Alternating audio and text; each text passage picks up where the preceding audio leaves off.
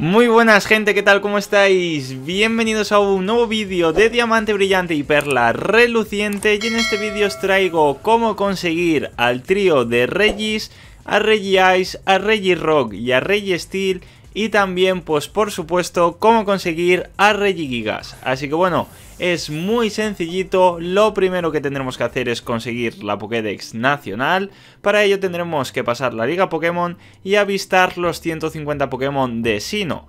Luego nos darán el Pokéradar y tendremos que ir al Parque Hansa, ahí nos estará esperando el Profesor Oak, hablaremos con él, nos dará el marcador del Pokéradar y ya podremos conseguir las losas inicio. Para conseguirlas tendremos que excavar y conseguir esquirlas extrañas, tanto las S como las L nos da igual, si conseguimos 3L pues mejor, porque serán menos excavaciones. Así que bueno, compraremos las losas inicio, las cambiaremos por esquirlas, como he dicho. Y una vez las compremos, pues ya podremos ir a la primera cueva que tendremos en el Parque Hansa. Esta primera cueva será la de los tres Regis, así que bueno, los capturaremos, tendréis el truco para duplicar, clonar, como queráis, Master Bolas, una vez consigamos los tres Regis, pues ya podremos ir al templo de Ciudad Punta Neva.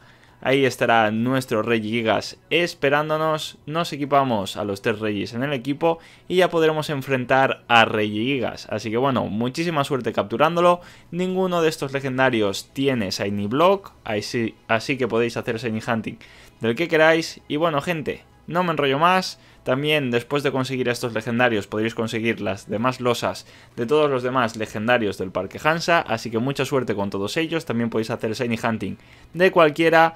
Muchísima suerte con todos los legendarios. No me enrollo más como ya estaba diciendo. Así que bueno, nos vemos en el próximo vídeo. Adiós.